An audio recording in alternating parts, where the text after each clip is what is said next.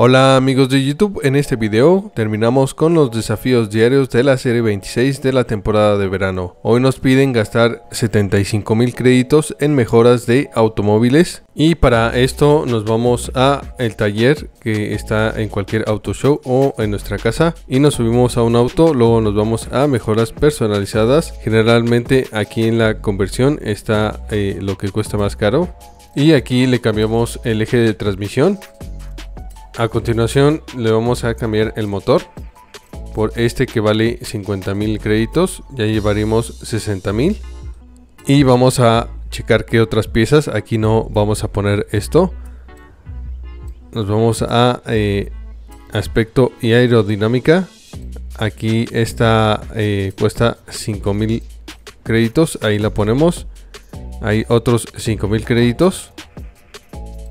Que ya vendría siendo 70 mil.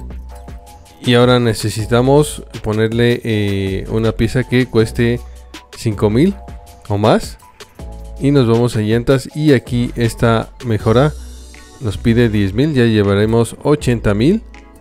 Y con esto ya nos podremos salir. Y nos darían este desafío por completado. Ahí compramos eh, las piezas que necesitamos para este desafío y de esta manera hemos llegado ya al final de otro video. Yo me despido. Recuerden que mañana tenemos todos los desafíos de Forza Horizon en el canal.